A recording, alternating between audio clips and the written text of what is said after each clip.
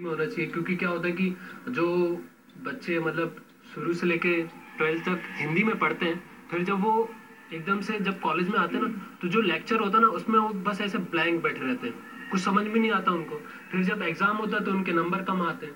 तो अगर ऐसा है ले, लेकिन आजकल क्या है जो अपना मार्केट है ना जहाँ पे जो जॉब्स के लिए जब जाते हैं ना वो लोग हिंदी वाले तो फिर उनको इंटरव्यू में भी वो फेल हो जाते हैं। तो अगर हिंदी है तो फिर उसके लिए पूरा मतलब सिस्टम होना चाहिए कि हाँ जॉब्स वगैरह में भी सब में जगह पे एक स्पेशल कॉर्नर मिलना चाहिए। कुछ चीज़ें ऐसी होती है जो सुनने में बहुत अच्छी लगती है, लेकिन ज़मीनी स्तर पर